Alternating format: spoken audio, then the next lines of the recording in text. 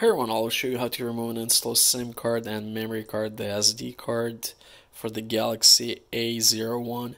So your SIM tray is going to be on the right side of the phone. It's right here. There's a little pinhole right here.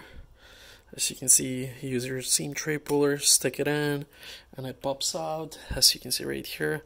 Now pull your SIM tray out.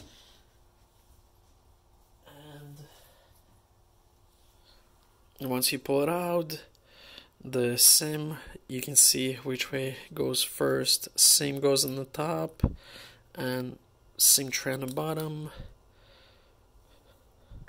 And once you install the both them uh, you can just slide it in. Boom just like that. And then if you want to remove it use your sim tray puller. Click it in pop it out. Whoops this just popped out you can just turn around and it pops out very easily. Thanks for watching. If you like this video, please like and subscribe for more videos. Bye bye.